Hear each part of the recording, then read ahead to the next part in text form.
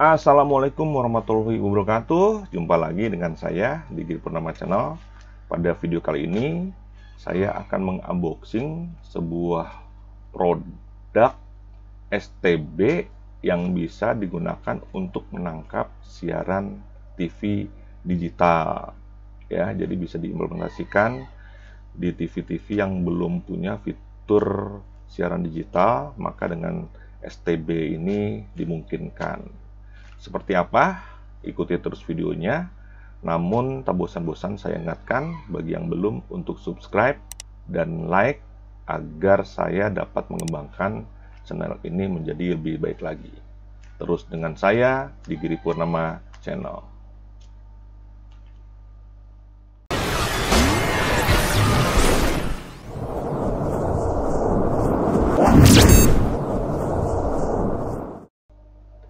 Baiklah, mari kita mulai untuk mengunboxingnya. Jadi paketnya masih terbungkus rapi ya. Saya beli di Tokopedia. Harga termurah di kisaran 199.000 atau 200 ribuan lah ya. Ini yang termurah. Terakhir saya coba cek sudah kosong stoknya ya. Karena di tempat yang lain tuh kisarannya di atas 200 ribuan ya kita mulai membongkarnya dari mana ya sisi yang paling mudah ada sini aja ya kita buka hmm.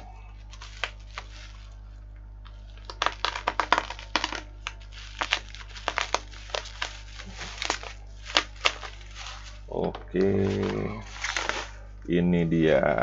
Jadi STB-nya mereknya Kaunsat ya bagi anda yang sering bermain parabola mungkin tidak asing lagi ya pada Kaunsat ini.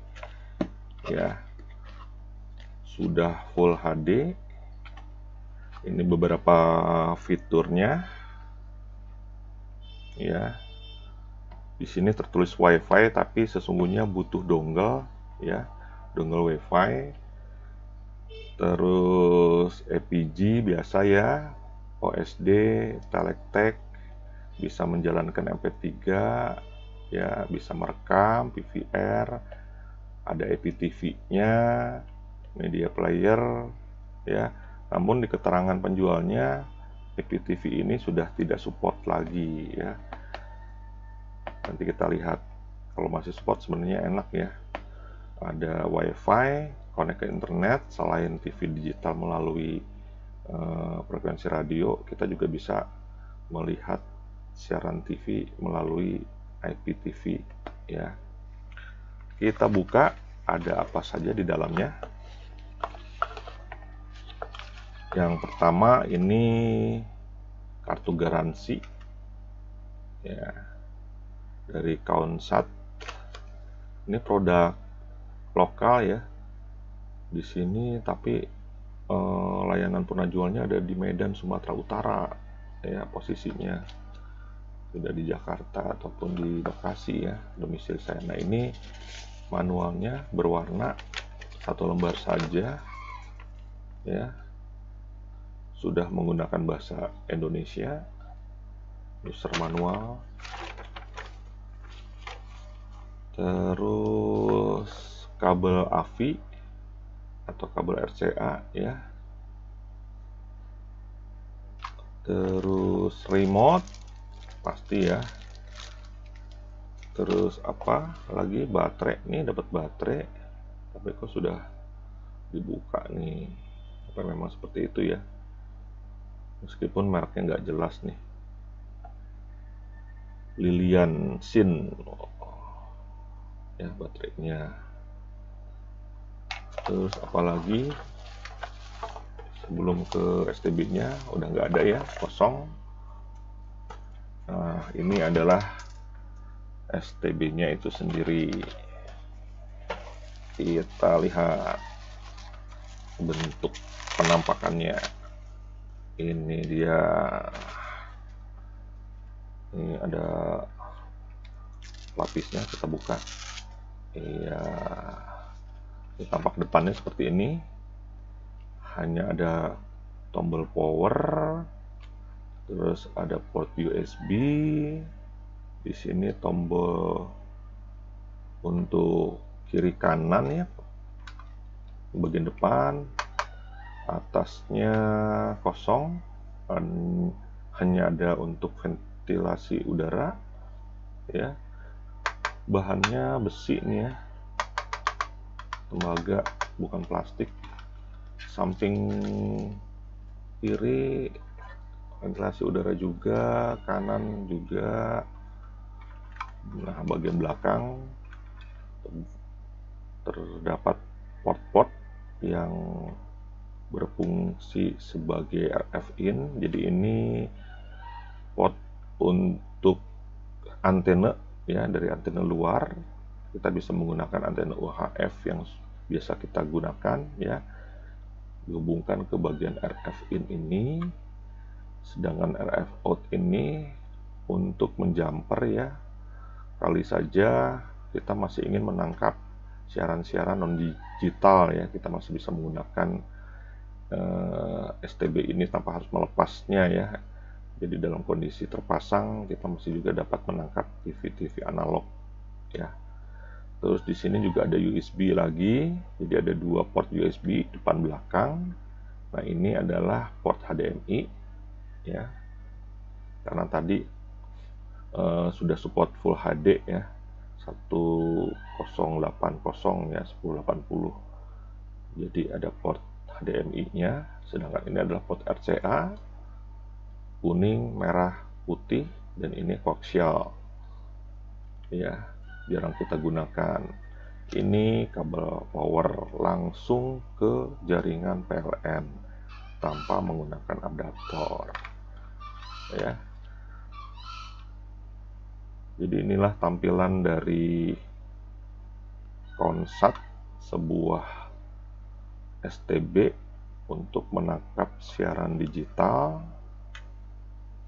yang mana bekerja pada fitur digital video broadcasting T2 ya. T itu terestrial versi 2 ya. Jadi jenis DVB itu ada tiga ya. DVB S yang biasa untuk menggunakan uh, parabola menangkap siaran parabola. S nya itu satelit. Terus DVB C untuk menangkap siaran melalui kabel dan DVD T melalui radio frekuensi ya. Tadinya ini diklaim juga support untuk divisi ya divisi new. Cuma fiturnya sudah di blok kembali ya sama dengan IPTV nya nah itu dia penampakan dari STB Konsat di mana Indonesia mungkin akan implementasi di bulan November meskipun saat ini sudah mulai trialnya ya, sudah beberapa tahun yang lalu. Nah, bagi Anda yang ingin membeli STB digital ini, terlebih dahulu harus ngecek apakah lokasi rumah kita sudah terdapat eh, semacam stasiun pemancar terdekat ya nanti akan saya berikan uh, tipsnya, toolsnya untuk memastikannya ya. Bisa dilihat di video berikut ini.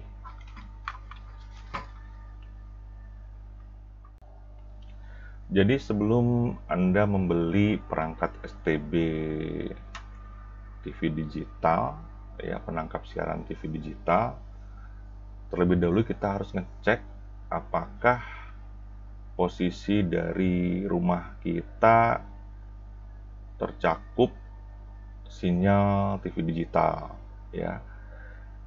Yang harus kita lakukan adalah menginstal sebuah aplikasi berbasiskan Android. Contohnya di sini saya menggunakan Android Player PC, tapi prinsipnya sama saja ya. Kalau menggunakan uh, handphone, ini tampak terlihat di sini aplikasi sinyal TV digital. Jadi kita cari dulu ya melalui Google Play Store. klik saja sinyal TV digital ya dengan keyword tersebut nanti kita akan diarahkan ke apps-nya ini ya karena saya sudah menginstalnya jadi sinyal TV digital namanya. Ya jadi kita langsung ke aplikasinya saja. Kita maaf ya ini ya. Ini sudah terinstall saya akan klik. Ini adalah tampilan depannya. Nah ini langsung mengarah dengan kita mengklik my location nanti kita akan diarahkan ke tempat posisi rumah kita dan langsung diarahkan ke BTS dari pemancar TV digital terdekat ya. Posisi saya di Bekasi saya akan coba besarkan di sini ya. Nah ini Bekasi terdekat. Di sini terlihat indikator warna yang menunjukkan beberapa kuatnya sinyal digital itu sampai ke rumah kita kalau merah itu sinyal kuat ya. Kalau kuning hijau hijau muda itu sinyal sedang biru muda hingga abu-abu muda itu sinyal lemah. Dari sini kita terlihat ini bagian yang paling kuat ya. Jadi wilayah Jakarta sudah tercover semua Depok ya Cilengsi Bekasi beberapa. Ini sudah tercover sini lumayan lah ya. Kalau yang orange di sini nih juga masih tercover. Kuning ini agak lemah. Ya beberapa daerah Tangerang juga sudah tercover. Jadi kalau anda berlokasi di daerah Kerawang, Cikampek, ya Purwakarta ini jangan coba-coba ya untuk membeli STB ini karena kemungkinan tidak akan berfungsi ya karena jangkauannya yang terlalu jauh ya di sini kalau kita lihat detailnya untuk posisi saya ya. Jadi BTS-nya atau BSTV-nya itu ada di Grand Mall Bekasi jaraknya itu sekitar 8 km ya. Sinyalnya kuat sehingga saya bisa ya menggunakan eh, STB penangkap TV digital ini ya Terus apa saja nanti yang akan bisa saya uh, terima channel-channelnya? Di sini ada TVRI, ya. Terus ada Muhammadiyah TV, ya sekitar 34 channel ya. Inspira TV, Badar TV. Ya, jadi ada ini adalah channel channel-channel TV digital yang bisa ditangkap pada posisi saya. Bisa dilihat. Ya, sekitar 34 channel lumayan banyak yang kualitasnya sudah digital ya. Di mana kelebihan sinyal TV digital itu kita tidak akan menjumpai siaran yang gambarnya uh, semutan ya. Ada semutnya. Jadi kalau digital itu basisnya true false ya 1 0 ketika tidak ada sinyal atau sinyalnya kurang dia akan blank saja hitam tapi ketika ada sinyalnya dia akan langsung tampil dengan kualitas yang baik ya. Dan kuat terhadap noise sekitar ya gangguan misalkan kendaraan dan lain-lain. Ya jadi eh, perlunya kita ngecek terlebih dahulu agar STB yang kita beli pasti berfungsi di posisi rumah kita ya itu saja yang perlu kita pastikan ya dengan menginstal aplikasi sinyal TV digital ini. Berikutnya saya akan menunjukkan tampilan dari STB Consult ini ya. Tampak di layar masih gelap karena memang belum saya on kan. Sudah terhubung ke catu daya. Ya, di sini menunjukkan jam. Oke, saya pencet ya satu dayanya powernya untuk diaktifkan. Nah inilah tampilannya. Saya akan menunjukkan tampilannya saja karena ini belum ada antena ya. Saya jauh dari antena posisi saya di ruang kerja saya. Saya exit.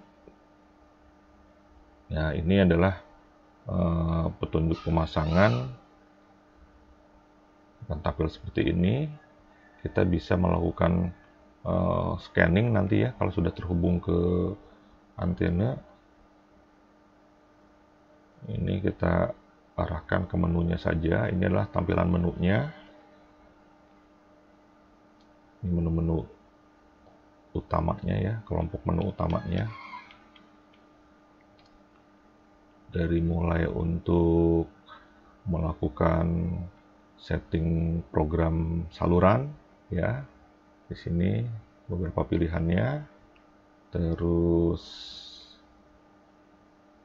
untuk men-setting tampilan gambarnya resolusi ya format TV-nya dan lain-lain. Di sini untuk scanning tadi ya. Seperti tampilan di awal. Terus di sini untuk merubah waktu. Ya ini ada timernya juga mungkin maksudnya ketika diaktifkan pada jam tertentu akan mati dengan sendirinya ya.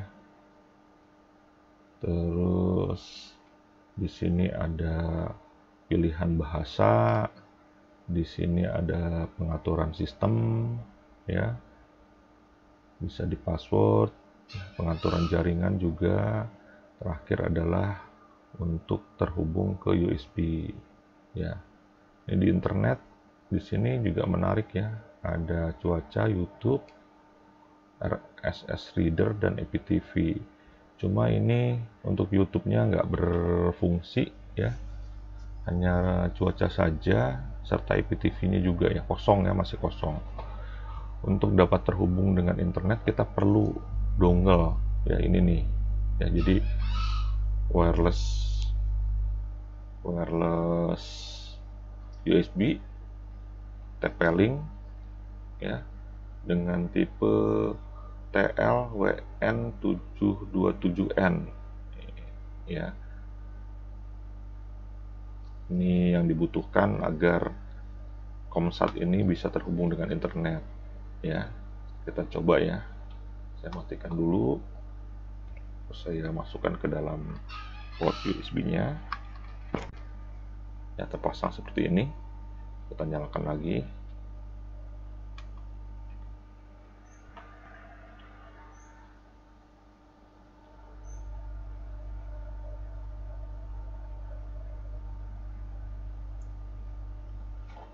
Nah, defaultnya seperti ini ya, selalu langsung mencari saluran karena belum terhubung ke antena. Nah, ini kalau kita lihat sebelumnya sudah saya setting ya di pengaturan jaringan kita lihat. Pengaturan wifi. Tunggu beberapa saat. Nah sudah terhubung ya paling atas tuh. Sudah centang. Ya ini tinggal di settingnya tinggal diklik aja masukkan passwordnya selesai. Nih di pengaturan jaringannya akan terlihat. Sudah terhubung ya statusnya paling bawah. Kita exit nah, ya, kita ke USB lagi. Kita naik. Exit dulu. Exit. Nah ke USB kita ke bagian internet. Nah untuk cuaca nah berfungsi ya. Cuma ini Rusia jadi kita perlu menggantinya. Keluar kita coba YouTube di sini ada masalah YouTube APK nya tidak berfungsi. Jadi kita perlu melakukan perubahan ya. Ini untuk APK nya itu sudah tidak disupport lagi. Mungkin kita harus import ya masukkan perangkat USB jadi kita butuh APK yang kita ambil dari Google Development ya ini harus dioprek dulu jadi nggak bisa ya. Kita gunakan di sini. Terus untuk RSS readernya kita lihat. Download error nggak bisa juga. Nah coba. Download error juga. Naik download error. Ya nggak bisa juga. Ini kalau mau ditambahkan ini harus cari ya. Ini Rusia semua nih. Kita butuh penyedia RSS ya. RSS kita keluar ke IPTV pun gitu ya. Tuh kosong. Ya kita butuh import alamat IPTV nya jadi nggak bisa juga. Meskipun kita sudah menggunakan dongle hanya cuaca saja ya. Mungkin dibutuhkan untuk mengupdate software mungkin ya. Untuk firmware uh, komsat terbaru butuh internet ini juga ya. Di sini dilihat. Nggak ada juga ya sarana untuk melakukan update firmware ya itu saja tampilan dari Komsat STB TV digital ini. Demikianlah unboxing dan explore dari perangkat STB penangkap siaran TV digital dari Komsat. Mudah-mudahan video ini bisa menjadikan referensi buat Anda yang menginginkan produk sejenis. Sampai jumpa di kesempatan yang lain. Wassalamualaikum warahmatullahi wabarakatuh.